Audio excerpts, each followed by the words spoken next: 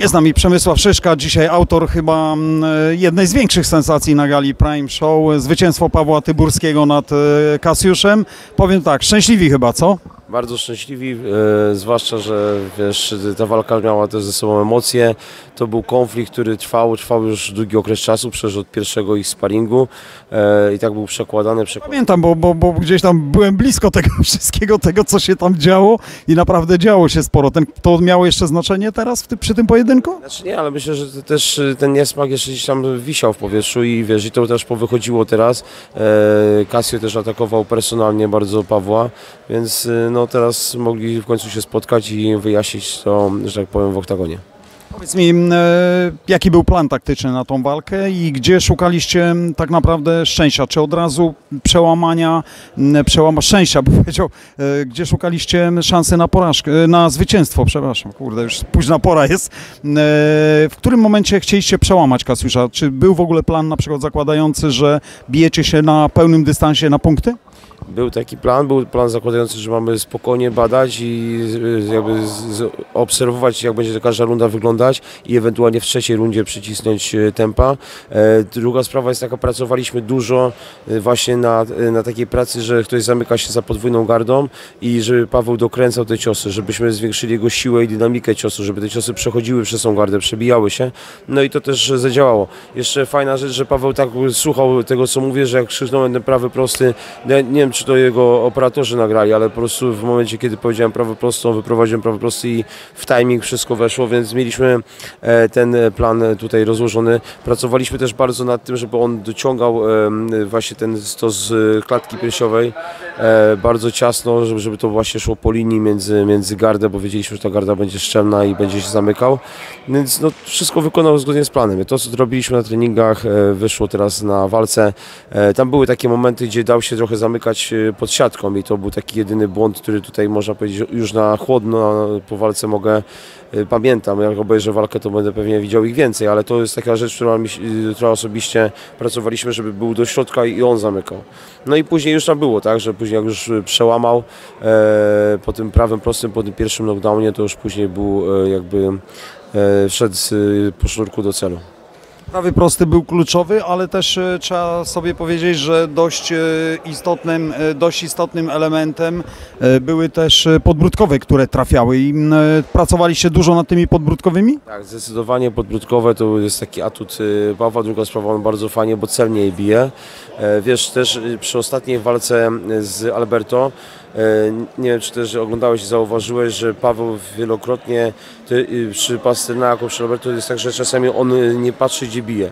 I bardzo pracowaliśmy nad celnością. Też momentami tak było, że gdzieś prawie z zamkniętymi oczem, oczami Nad tym pracowaliśmy dużo i tak już jest lepiej niż było, bo wiesz, bo to jest taka, bo czasami też Paweł wada, że on zamykał oczy albo że patrzył na przykład w ziemię i ręce leciały gdzieś tam w powietrze. I też no, te podbródki jednak mm, na treningach wykazywały takie, że są bardzo celne i one bardzo fajnie wchodzą i wtedy on też trzyma tą swoją e, pozycję. Więc nad tym pracowaliśmy zdecydowanie wszystko. No mówię, wszystko co robiliśmy fajnie poszło, weszło, e, dynamika ciosu, siła ciosu, więc super.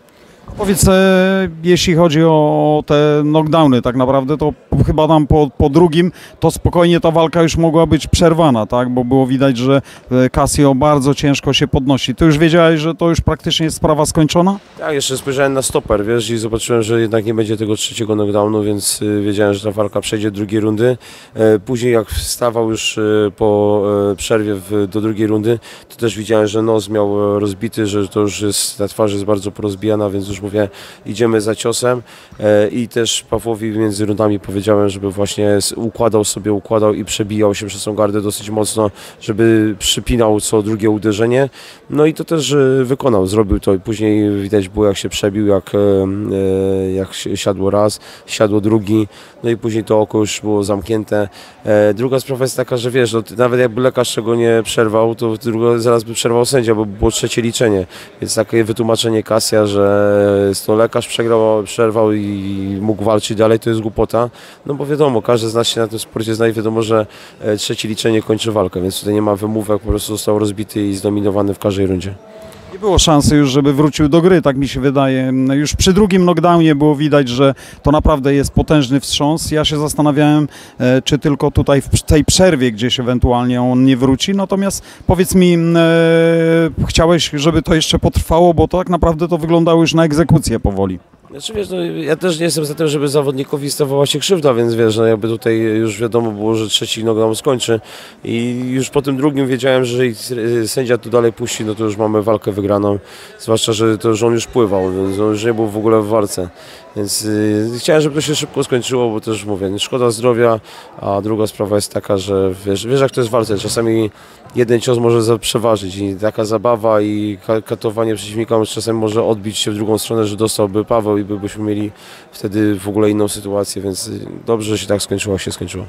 Powiedz e, teraz, e, ile w, ogóle czasu poświęciliście tak na przygotowania, tak finalnie, tak, jeśli chodzi o już teraz konkretnie tego przeciwnika? Wiesz, my z walki na walkę teraz, więc więc tak naprawdę, Paweł cały czas jest w sztosie, ja teraz chciałbym, żeby on odpoczął, już nie brał żadnych walk, bo e, zaraz już będzie tak przepalony, wiesz, walka z Pasternakiem, później już do Alberto się przygotowaliśmy, później z Alberto chwilę zrobił tylko przerwy i praktycznie po, już zaczęliśmy przygotowywać się do tej walki z Don Casio. I tak cały czas y, w sztosie treningowym, więc teraz chciałbym, żeby zrobił przerwę, żeby odpoczął, zregenerował się, wyjechał sobie na wakacje i dopiero później możemy wracać do pracy, bo zaraz będzie przepalony i to nic z tego brego nie będzie i będziemy mieli, wiesz, jak mamy teraz tą zwyżkę i do tej walki naprawdę zrobiliśmy bardzo dobrą formę, to zaraz to będzie spadać, bo to już nie da się tyle ciągnąć. Dasz mu odpoczynku? Znaczy wiesz, że chciałbym, żeby jak najdłużej, ale Pawła ciężko utrzymać. On zaraz będzie pewnie, myślę, że za tydzień to zadzwoni do mnie za tydzień. No myślę, że to już spokojnie tydzień i zadzwoni, że on by chciał przyjść przynajmniej na tarczę, więc jego jest ciężko utrzymać, on jest takim wulkanem energii, że e, trzeba go czasami stopować i mówić, słuchaj, w weekend nie trenuj, w weekend nie trenuj. A później wstawia story, że w weekend trenuje. Ja mówię, miałeś się trenować. No trener luźno poszedłem na siłownię, więc wiesz, ciężko, ciężko zatrzymać go. Mam nadzieję, że wiesz, z parę tygodni odpocznie i możemy delikatnie się rozruszać i delikatnie wracać do pracy. Powiedz, e, Paweł, e, jak, zno, jak znosicie w ogóle teraz e, w klubie, bo dużo afer ogólnie i to też było na te przygotowania, mogło się położyć cienie, bo Paweł wiadomo, na język nie choruje i te afery gdzieś tam, e, przynajmniej jeśli on nie bierze w nich bezpośrednio udziału, to wspiera przynajmniej tych ludzi, którzy są byli, są byli u was w klubie. Tak, znaczy wiesz, no afery zawsze się odbijają, zwłaszcza, że to, to też Paweł odnosił się do tych afer też, bo trochę się to wszystko... Yy, Hejt się też na nim skupiał też częściowo, tak? Hejt, ale druga sprawa, wiesz, później jeszcze do tego wszystkiego dorzucił się Casio.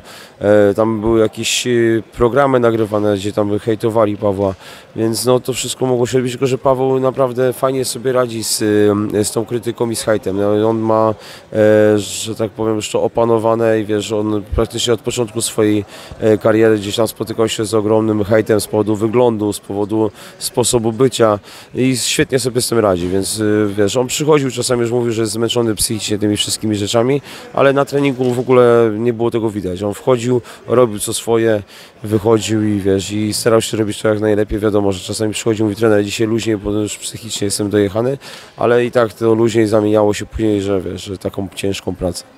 Ty znosisz e, to wszystko, co się dzieje, bo nie ma co ukrywać, że ty z tymi ludźmi byłeś związany, angażujesz się w swoich zawodników i nagle wychodzą jakieś sytuacje, które są no, trudne do, do, do akceptacji, bo widziałem to oświadczenie twoje.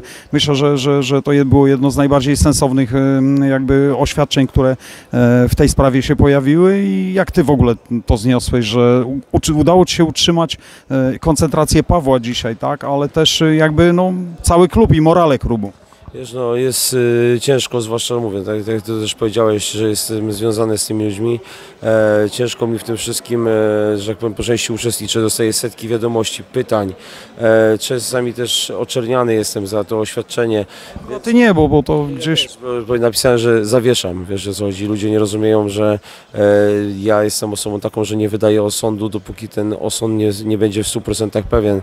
E, I to też spowodowało też falę krytyki, że jak ten tak może powiedzieć, że trzeba ich wszystkich osądzić, najlepiej to ich skatować, sk- ukamieniować i w ogóle, a później się okazuje, że e, za jakiś czas się okaże, że ktoś jest niewinny. Bo ja mówię, cały czas powtarzam, ile osób już było oczernionych, od e, zawodników takich zawodowych, Materla e, i przeróżni inni zawodnicy, którzy byli oczerniani, i później ich oczyszczono z zarzutu. Teraz wiesz, ktoś powie, dobra, ale tu są twarde dowody. Okej, to niech te dowody już wszystkie wyjdą, potem już jest ich jeszcze więcej, niech one wszystkie wyjdą i wtedy ocenimy tą sytuację e, w 100% i tych, którzy będą e, winni, e, wtedy możemy osądzać, a na razie tak naprawdę są pomówienia. Jedna i druga strona się broni.